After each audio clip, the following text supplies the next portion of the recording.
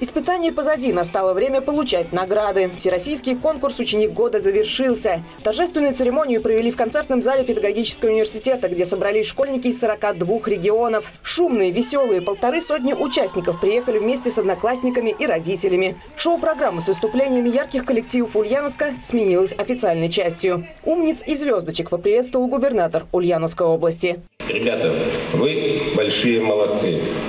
Вы не испугались конкуренции, смогли продемонстрировать свои знания и навыки, смелость и силу воли в честной и крайне непростой борьбе.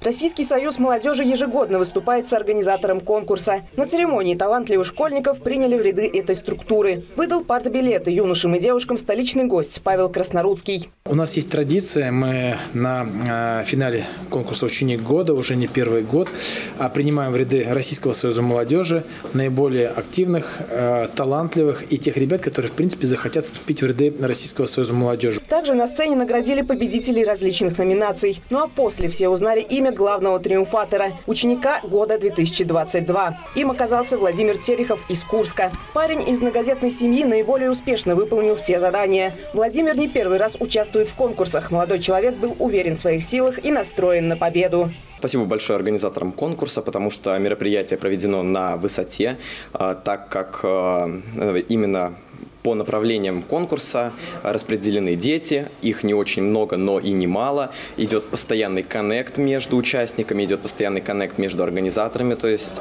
мы можем спросить как и членов жюри, так и организаторов конкурса.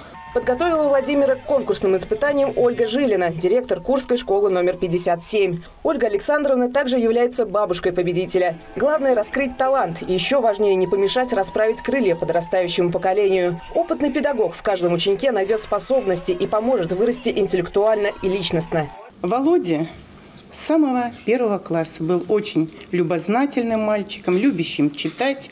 И наверняка семья ему помогла в этом, что он не останавливается на достигнутом, а идет все вперед и вперед.